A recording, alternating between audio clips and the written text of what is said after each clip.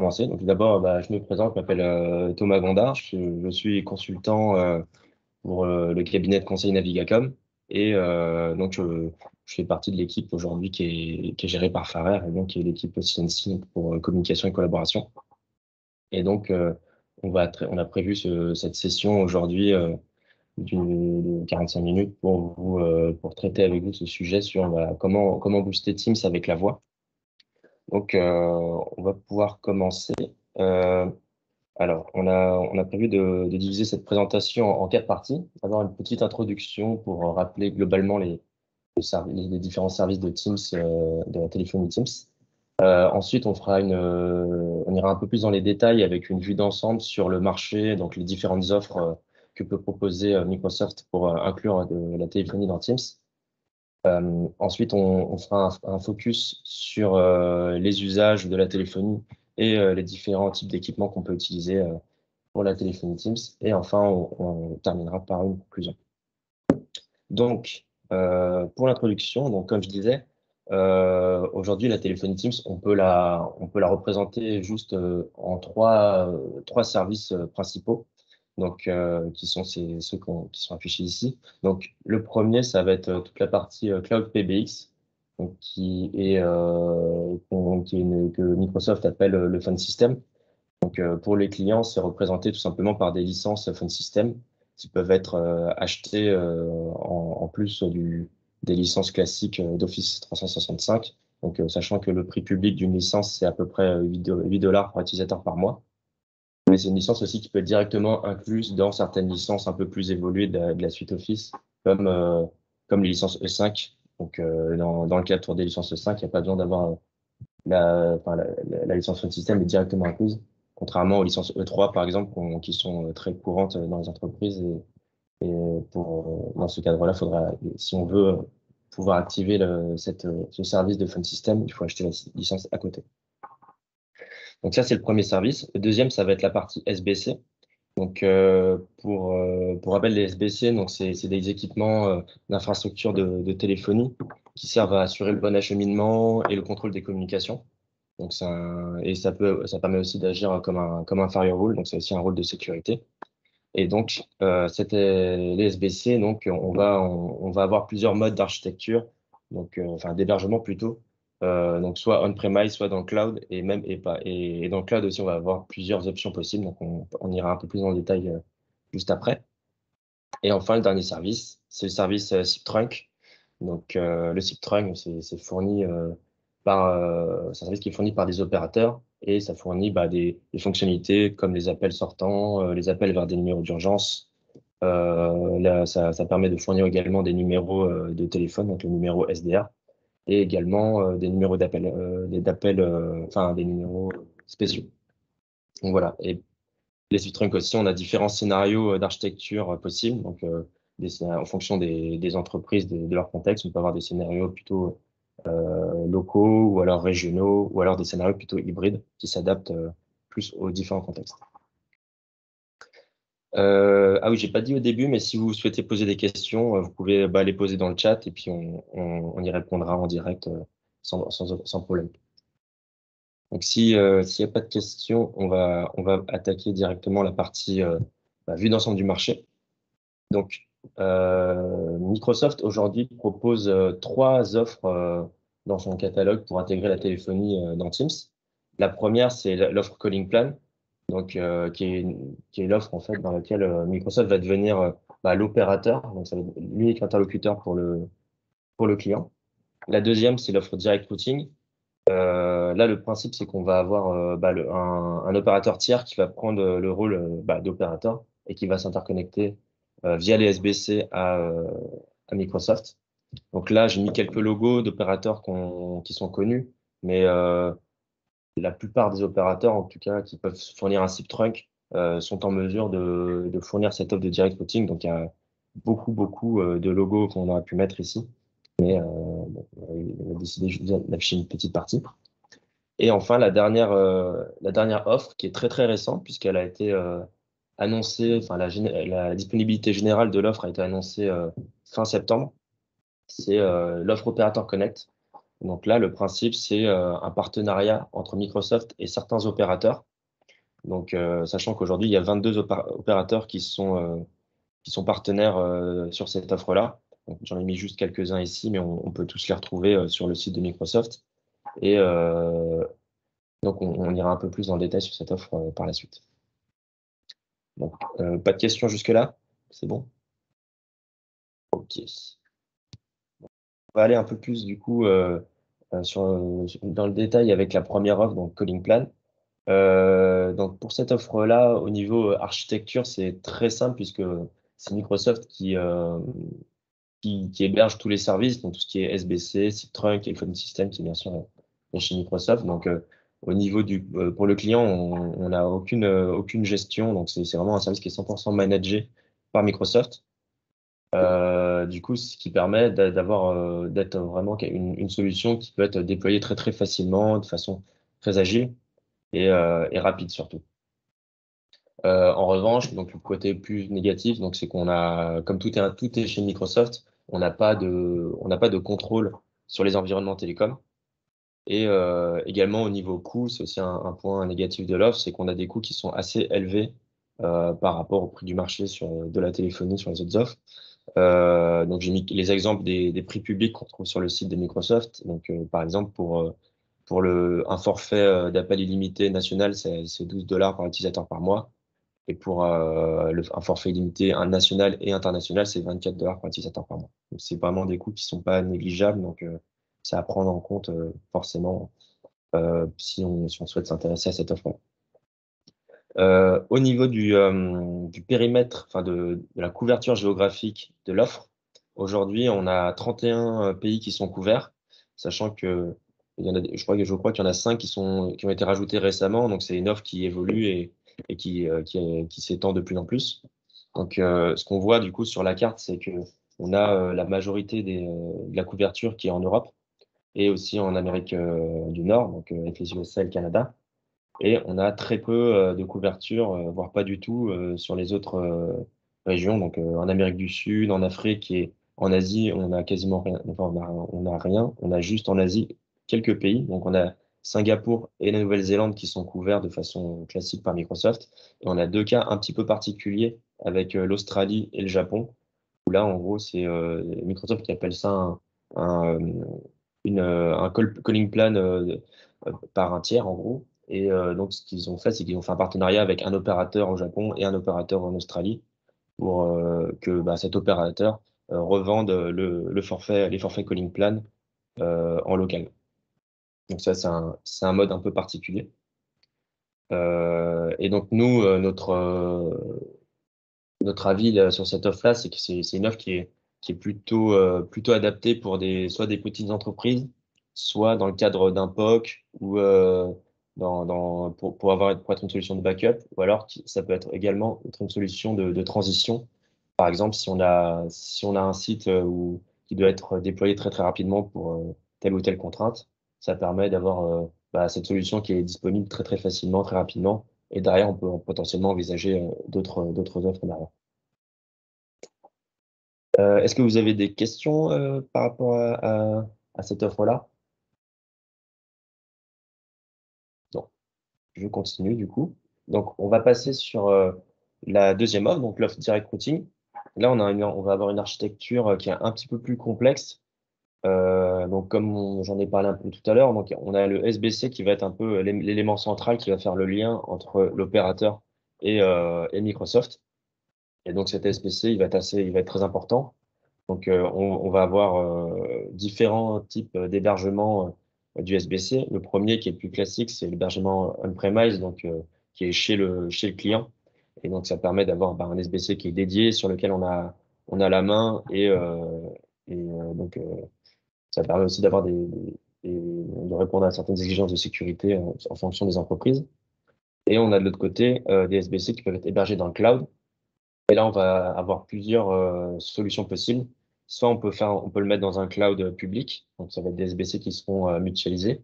Soit on va pouvoir mettre euh, un SBC euh, dans des clouds qui sont, qui sont privés. Donc ça peut être le cloud privé d'un opérateur, ou alors ça peut être le cloud privé du client. en en fonction de. Après, ça, ça le choix dépendra de si, si le client souhaite bah, gérer ou pas l'exploitation de ces, des SBC de manière enfin, dans le run. Donc, ça, c'est les différents modes d'hébergement des SBC. Donc, l'avantage de, de cette offre-là, c'est que c'est une solution qui peut être managée par le client euh, complètement, ou alors, euh, s'il le souhaite, il peut, la déléguer à un, partenaire ou alors à l'opérateur qui peut, gérer complètement euh, l'ensemble de, la solution. c'est une solution qui est aussi bah, interopérable avec des, possible dans un contexte d'entreprise avec un réseau MPLS ou alors un réseau plutôt orienté Internet, donc avec des SD1 par exemple, qu'on voit beaucoup en ce moment. Euh, au niveau du périmètre géographique, euh, on n'a pas de carte ici, puisqu'en fait, euh, cette offre-là va dépendre des opérateurs. Chaque opérateur a sa, propre couverture, donc soit en propre, soit via des partenaires. Et donc, donc le choix de l'opérateur va être très déterminant pour, par, rapport à, la couverture que vous, souhaitez, que vous, souhaitez avoir, pardon, sachant que y a possibilité, vous avez la possibilité aussi d'avoir plusieurs opérateurs si un seul ne couvre pas la totalité de, votre euh, territoire. Et donc, euh, donc même si c'est pas ce qu'on conseille forcément, également, pour plus de simplicité, on, préfère avoir un seul opérateur. Euh, donc cette offre, dans cette offre-là, on va avoir également plusieurs options disponibles. On a des options d'optimisation du chemin de la donnée, donc avec par exemple l'option de Media Bypass, donc là, cette option-là euh, va être surtout euh, adaptée dans le cas où, dans le cadre où, dans le cas où on a un, SBC qui est on-premise, puisque le, principe du media bypass, ça va être de bah, justement de, faire passer, au lieu de faire passer les flux médias par euh, d'abord depuis le client Teams vers le phone system, donc dans le tenant Microsoft, puis ensuite l'USB-C. Là, on va directement couper le chemin et, pas, faire passer directement les flux médias du, client Teams vers le USB-C. Donc ça, c'est intéressant dans le cadre où c'est un SBC on-premise puisque le SBC est euh, distant du tenant Teams. Mais si par exemple on a des SBC qui sont dans, euh, un cloud Azure, que ce soit le cloud euh, d'un opérateur ou votre cloud à vous, bah là on a des, le SBC qui est très proche du phone system et du coup, du coup là le, le bypass, media bypass perd de son intérêt. On va aussi avoir l'option local media optimization qui est là une, une, évolution un peu du media bypass. Ça va permettre de faire la, même chose, mais euh, avec euh, un peu plus de, complexité. Et ça, il y a aussi une, une, en fait, c'est une, option qui va être surtout adaptée pour des environnements qui sont assez complexes, euh, qui sont étendus sur, sur plusieurs pays différents. Et donc, ça va permettre, il y a aussi, cette option permet d'optimiser également le chemin quand, quand, on doit passer un appel entre plusieurs SBC internes. Donc ça, c'est deux options d'optimisation, mais c'est vraiment euh, l'optimisation, on va dire, assez fine. Euh, on a également une autre option, c'est euh, que, que vont permettre les SBC, c'est bah, la possibilité d'interconnecter la téléphonie Teams avec des téléphonies existantes. Par exemple, si vous avez un, je sais pas, c'est pas au hasard, une, une téléphonie Cisco on-premise que vous souhaitez conserver pour des, questions de sécurité ou, des questions d'usage métier, bah, c'est possible d'interconnecter avec avec ce, grâce à ce SBC, euh, la téléphonie Teams et la téléphonie euh, euh, avec la, la, téléphonie Cisco. Donc voilà globalement pour cette offre direct routing. Donc nous, ce qu'on constate, c'est que historiquement, c'est une offre qui avait été choisie, enfin qui est choisie très, très, très majoritairement par les entreprises plutôt moyennes ou grandes. Et donc c'était surtout dans un mode SBC on-premise, puisque le but c'était surtout d'avoir la main sur sur ces équipements-là. Aujourd'hui, nous, ce qu'on voit de plus en plus, c'est que les entreprises se dirigent vers un mode cloud et euh, justement veulent se dédouaner de, de cette gestion-là et euh, donc elles entrent dans un, mode full managé euh, par les opérateurs. Et est-ce que c'est clair du coup? C'est toujours clair pour vous? D'autres questions dans le, dans le chat Pas pour le moment. N'hésitez pas à lever la main s'il y a une question, une remarque, même un commentaire, un complément. Donc, euh, donc justement, en parlant des opérateurs, toujours, on va rester dans cette offre direct routing. Euh, donc, ce que je disais au début, c'est qu'on a vraiment une multitude d'opérateurs euh, disponibles. Euh, tout, quasiment tous les opérateurs peuvent faire du, du, direct routing. Du coup, là, nous, les, clients se posent souvent la question de bah, quel, quel opérateur choisir. Donc, on, vous donne quelques pistes ici en, donnant quelques indicateurs clés à vérifier. Donc, la première chose à vérifier, donc forcément, ça va être bah, est-ce que, est-ce que l'opérateur, est-ce que les opérateurs couvrent mon périmètre géographique? Comme je disais, chaque opérateur a sa couverture euh, donc soit en propre, donc euh, idéalement c'est mieux, soit avec des partenaires. Mais bon, avec des partenaires, ça peut complexifier, euh, peut complexifier les relations et de, les relations. Et ça, c'est le premier point. Deuxième point, c'est est-ce que au niveau fonctionnel, l'opérateur couvre tous les besoins? Donc ça, c'est par rapport aux, fonctionnalités trunk dont j'ai parlé au début. il faut savoir qu'en fonction des pays, il y a des, enfin, des zones plutôt régionales, euh, par exemple en, Amérique du Sud ou en Asie, en Afrique, c'est des zones qui sont plutôt complexes pour les opérateurs. Et donc, on risque d'avoir des limitations euh, fonctionnelles euh, sur certains pays. Par exemple, je sais pas, euh, au Brésil, euh, certains opérateurs ne vont pas pouvoir fournir la fonctionnalité d'appel d'urgence, ou alors vont avoir des, un nombre limité de, de, de SDA par, par client. Donc forcément, ça c'est c'est pas des fonctionnalités euh, qui sont euh, légères, on va dire, c'est des fonctionnalités plutôt critiques. Donc, il faut vraiment faire attention à ça euh, quand, quand, on souhaite euh, choisir un opérateur. Ensuite, bien sûr, la maturité va être très importante pour l'opérateur. C'est Direct Routing est déjà présente depuis un certain, un certain moment, donc euh, il y a des opérateurs qui sont très très matures sur ces offres-là et qui pourront parfaitement répondre à vos besoins. Euh, et dernière chose, c'est euh, si c'est le cas, si vous avez des, des, des écosystèmes tiers intégrés, euh, il faut aussi s'assurer que bah, les, les l'opérateur que, que vous choisirez euh, a une, une certaine maturité et sait intégrer euh, justement des systèmes tiers comme euh, des anciens PPX ou des fax, par exemple. je continue donc sur la dernière offre, donc Operator Connect.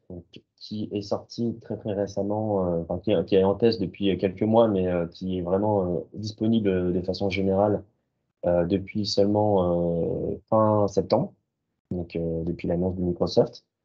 Et donc le principe de cette le principe de cette offre-là, c'est qu'on va avoir un partenariat du coup entre Microsoft et donc 22 opérateurs aujourd'hui. Et donc il y en a 22, mais ça, il y a probablement de plus en plus d'opérateurs qui vont, qui vont faire le partenariat avec Microsoft. Et donc, le principe, c'est que comme on a un partenariat euh, entre Microsoft et ces opérateurs-là, on va pouvoir très facilement, directement depuis le, depuis le portail administratif, euh, le portail admin de, de Teams, sélectionner euh, son opérateur et derrière euh, attribuer très facilement des numéros à, euh, à des utilisateurs. Donc, ça, ça, ça va être quelque chose qui est très, très pratique. Ça nous permet un, un, une gestion très euh, agile et de faire des déploiements très rapides euh, de la téléphonie sur, sur le site. Et euh, il y a une autre fonctionnalité aussi qui est pas négligeable, qui va aussi intéresser, euh, je pense, beaucoup d'administrateurs, c'est euh, la possibilité de, enfin, c'est la, la, gestion automatique des, de la disponibilité des numéros, dans le sens où, euh, comme quand, un, quand un, utilisateur, un collaborateur va quitter votre entreprise, euh, son compte euh, Office, euh, son compte Teams va être supprimé et du coup automatiquement le, numéro va être libéré et affiché dans le pool de l'administrateur comme un numéro disponible et pourra donc être affecté derrière à un autre utilisateur. Donc ça c'est c'est des, c'est des choses qu'on sait que dans, les entreprises, ça, ça peut être une, une, exploitation assez fastidieuse, donc c'est, une, fonctionnalité qui est très intéressante.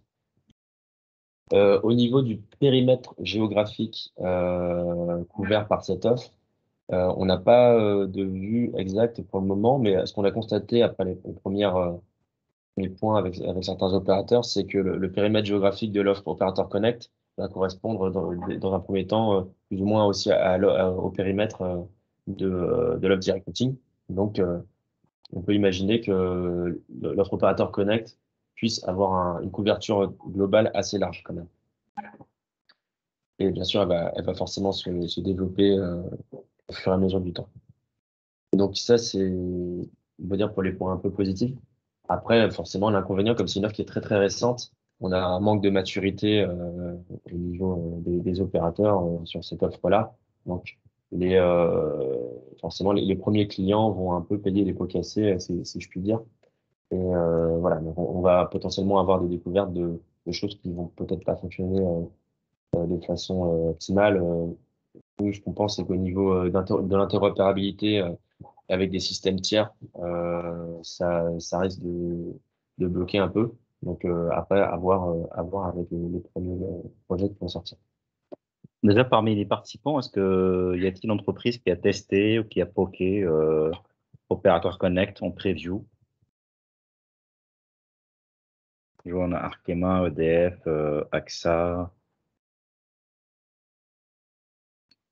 Enfin, moi, je peux, je peux parler pour AXA. Donc, nous, nous clairement, on a, on, y réfléchit. Alors, on n'a pas du tout commencé à poker quoi que ce soit. On y réfléchit sérieusement parce que, ben, comme vous disiez, hein, ça, nous, ce qu'on voit, c'est finalement ça, c'est un peu un, hybride entre ce qu'on a en, en call-in plan et en, et en direct routing. Hein. donc, ça, ça a l'air quand même très intéressant sur le papier. Euh, et, et, donc c'est aussi, c'est aussi facile, nous ça nous paraît aussi relativement simple à, déployer, notamment si on a des sites qui se trouvent, là on a un cas particulier sur les DOM-TOM par exemple, ben, on a a priori OBS qui est capable de, délivrer des numéros sur les DOM-TOM. Aujourd'hui on n'a pas de peering avec OBS, donc là l'idée ça serait éventuellement de lancer un, POC avec OBS pour, euh, pour, pour mettre des, numéros sur les DOM-TOM et, voir comment, comment l'opérateur Connect va pouvoir euh, nous répondre, répondre aux besoins.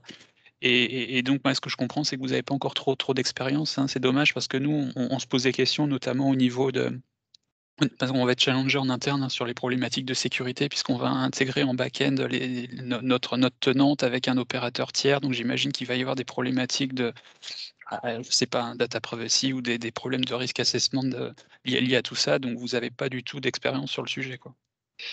Nous, à notre connaissance, aucun de nos clients, en effet, ne s'est lancé. Euh, tout le monde s'y intéresse, en effet pour euh, des questions de, standardisation, de simplicité, euh, si API direct avec Microsoft, et puis gestion unifiée dans le portail euh, de Teams.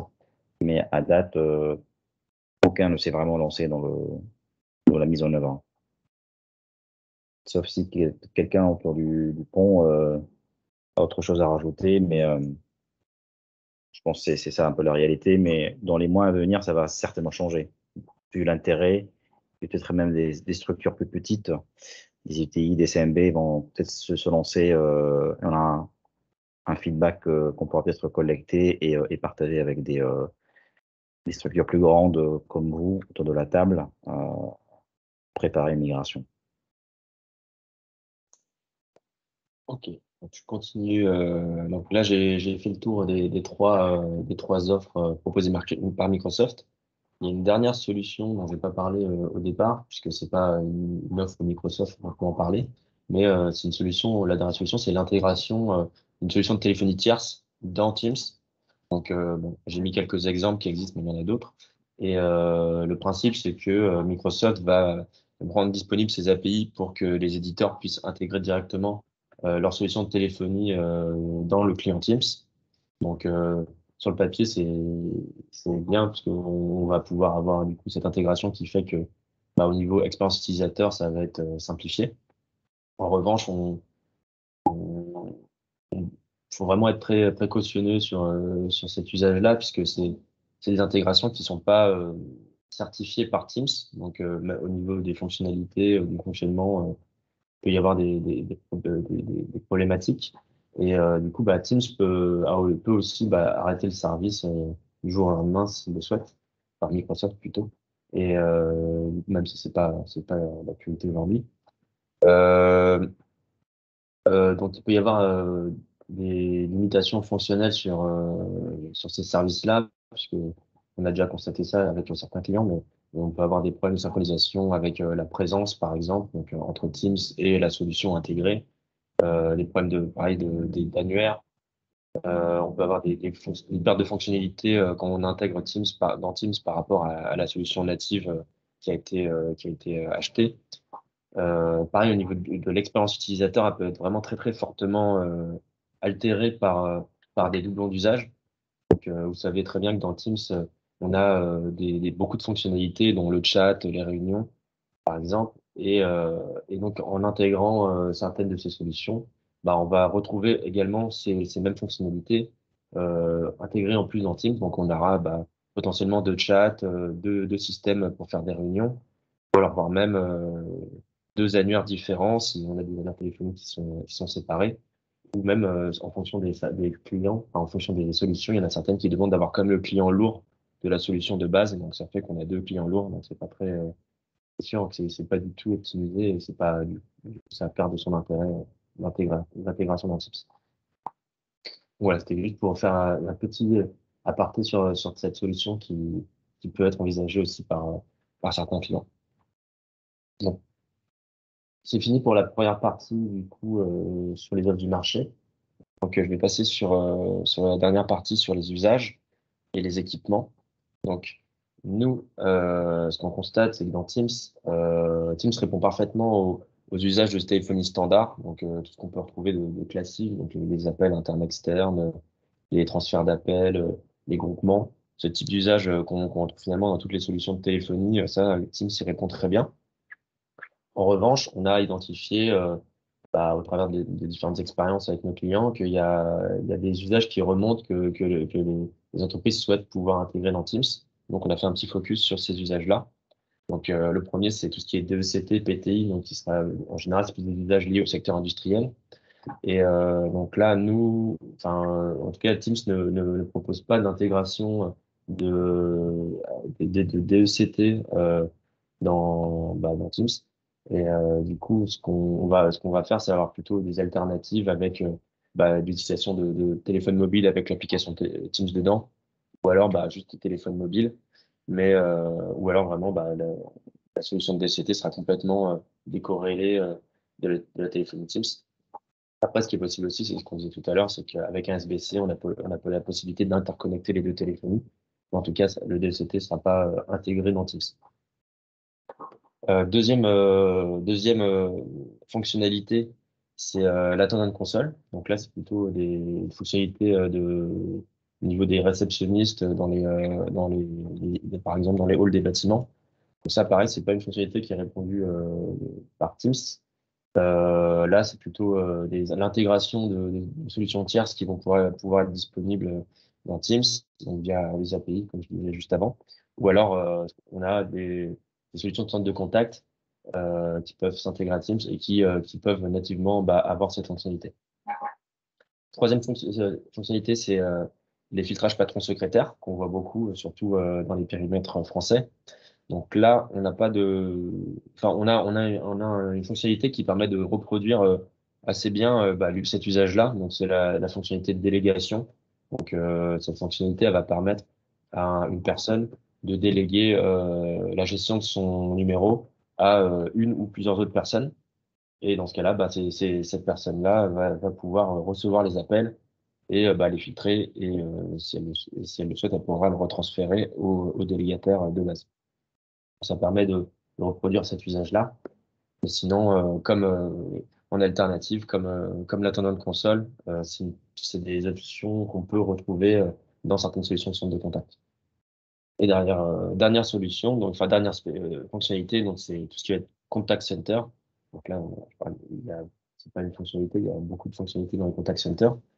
Euh, Jusqu'à très récemment, on, on disait que ça c'était pas couvert par Teams, mais euh, si vous avez bien suivi euh, le Microsoft Ignite euh, euh, de la semaine dernière, Microsoft a justement fait une annonce par rapport à ça. Et en gros, ils viennent d'introduire le canal voix dans Microsoft Dynamics 365 Customer Service. Donc, en fait, ils commencent de plus en plus à bah, vouloir bah, fournir un service de, de centre de contact et donc, bah, c'est, ça, cette, euh, cette fonctionnalité donc, euh, permet d'avoir la voix dans Dynamics 365 et donc d'appeler aussi directement euh, des, des, numéros euh, Teams, même si euh, la solution n'est pas nativement intégrée à Teams. on, peut, on peut ouvrir bah, Dynamics 365 dans, dans Teams, mais plutôt en mode navigateur. Donc après, à voir, à voir si ça fonctionne bien. Mais en tout cas, c'est intéressant de voir que Microsoft se, se lance dans, plus sérieusement dans, dans l'usage simple de contact. Et sinon, il y a aussi une très bonne alternative euh, à ça, c'est euh, le programme de certification de Microsoft. Donc, euh, Microsoft a lancé un programme en 2020 qui certifie des solutions de contact center as a service. Donc, ça permet, ça, permet bah, d'intégrer directement des, centres de contact certifiés par Microsoft et donc d'intégrer bah, soit partiellement, soit totalement les fonctionnalités et les différents canaux d'une solution.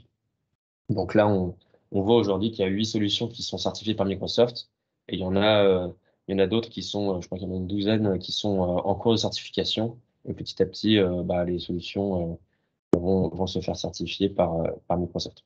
Donc ça, c'est c'est quelque chose qui est très intéressant à voir si, si euh, le centre de contact euh, fait partie des usages de, nos entreprises. Euh, ensuite, donc on passe sur la partie device rapidement. Donc, on va avoir deux types d'équipements. donc, un pour la partie usage, un type d'équipement pour la partie usage softphone.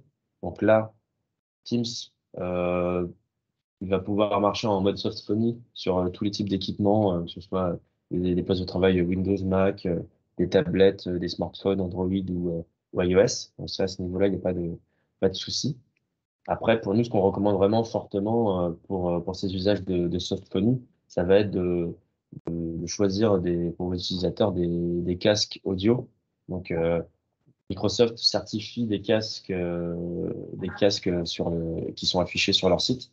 D'ailleurs, j'ai vu aussi dans Ignite qu'ils avaient certifier aussi euh, le, Bluetooth nativement euh, de, de, certains casques qui permet de ne pas avoir le petit dongle et donc d'être sûr que si on a des casques sans fil, euh, que ça fonctionne bien. Donc, donc vraiment de d'utiliser ces casques-là pour à la fois pour le confort et à la fois aussi pour la qualité du son, donc des micros et haut-parleurs, puisque bon, sinon on fait tous de plus en plus de, enfin on a tous, on fait tous beaucoup de visioconférences en ce moment, donc parfois la journée avec le casque sur les oreilles, ça, ça, peut, ça peut être vraiment désagréable si on n'a pas une bonne qualité. Et donc, deuxième euh, usage, donc c'est plus la part, pour la partie smartphone, donc les téléphones fixes euh, de bureau. Donc là, pareil, euh, Microsoft certifie des modèles de différentes marques. Donc là, j'ai mis quelques exemples, mais donc on a des, des modèles standards, classiques, qu'on peut utiliser dans les, dans les salles de réunion, par exemple, où on peut avoir des téléphones numéros. Et après, on peut avoir des, des modèles plus évolués euh, pour des secrétaires, par exemple, ou alors des, euh, des VIP. Ça, pareil, donc tous ces, tous ces équipements certifiés sont disponibles, enfin, sont clairement affichés sur, sur le site de Microsoft. Donc voilà pour, euh, pour cette partie-là. Euh, il ne reste plus que la conclusion. Est-ce que vous avez des, des questions Non, il n'y a pas de questions dans le chat particulièrement. Non, ok. Donc je vais commencer. Je vais finir la présentation. Donc, euh, pour conclure, euh, je vous donne quelques, quelques critères euh, clés un peu pour, pour choisir bah, l'offre qui conviendrait la mieux à vos entreprises. Donc, pour nous, les, critères clés, sont les suivants. Donc, le périmètre géographique, forcément, va être très important. En fonction des offres, on n'a pas la même couverture géographique. Et même ce qu'on voit disait plus loin, c'est qu'après, derrière, en fonction des opérateurs aussi, la couverture géographique va, va, être différente. Euh, idem pour la couverture fonctionnelle. On est, euh, toutes les offres ne, ne, ne couvrent pas euh, les mêmes périmètres. On a vu que le direct routing permet d'avoir une interopérabilité avec des systèmes tiers. Euh, on a vu également que certains opérateurs ne, couvraient pas toutes les offres, enfin toutes les fonctionnalités du site trunk en fonction des, des, pays. Donc ça, c'est important à vérifier.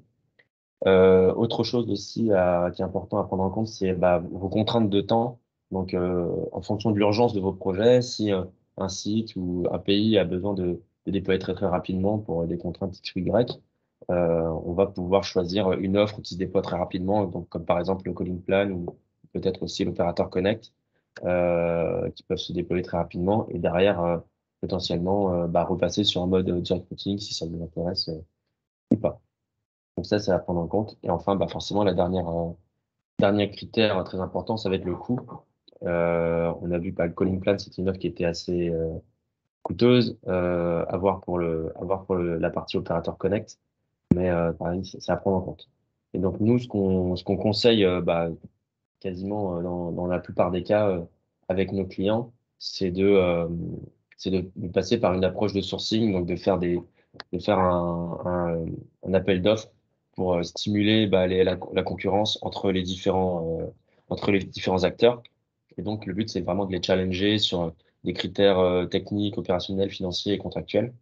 Donc vraiment si on, les challenge, si on les met en compétition lors d'une lors d'un appel d'offres, on, va vraiment avoir une amélioration claire sur tous ces sujets-là pour, la plupart des offres. Donc, voilà, c'est vraiment, vraiment ce qu'on va conseiller. Voilà, donc j'ai terminé du coup pour cette présentation. Est-ce qu'il y a, des questions?